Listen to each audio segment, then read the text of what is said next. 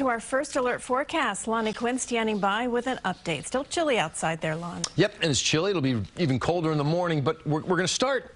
We're start moving in the direction of the temperatures warming up. Right now, if you look outside, all right, there we have the Empire State Building with a 25 degree reading. It's mostly clear sky overhead. Winds non-existent right now. 25 feels like 25. High temperature was 31 degrees today. 40 is your average, so yeah, you're off the mark by good 9 degrees. 21 was the morning low. You're 21 again tomorrow.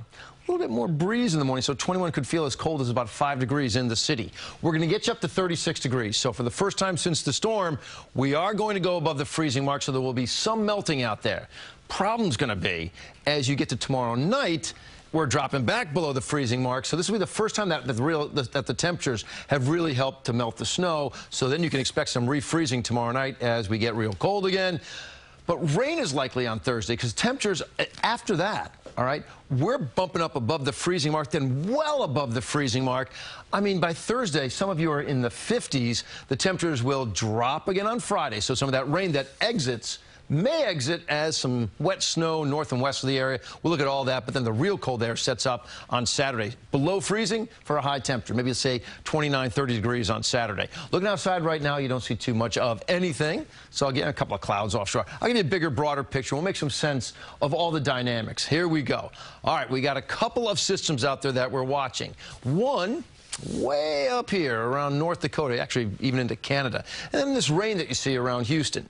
These two systems are pushing off to the east. And as they move to the east, we're going to watch them interact a little bit. So you put into motion. There we go. There we go. There we go. A little bit of that interaction right here. Now, it's interesting because this low pressure system to the north is dragging a cold front with it. Cold fronts separate air masses, right? I mean, you have milder air on one side, so we see the rain, and on the backside of the cold front, you have the snow that's out there. What are we going to get?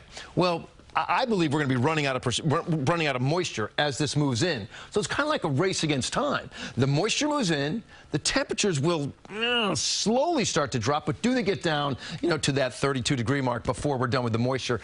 I don't think we're going to pick up too much frozen moisture. I think it's going to be rain.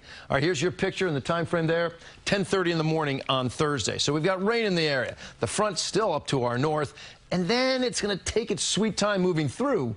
But there is still moisture out there, and as this is making its way through, say, Friday around lunchtime, we get a little bit of a wintry mix, maybe some wet snowflakes north of the area, but now literally it just gets exhausted out of moisture. We don't see too much at all in terms of snowfall, maybe a little bit north and west. So here's what we've got for you. 36 on Tuesday, 44 on Wednesday, that is your Groundhog Day, 48 on Thursday. If not, maybe finding 50 degrees. Rain is likely.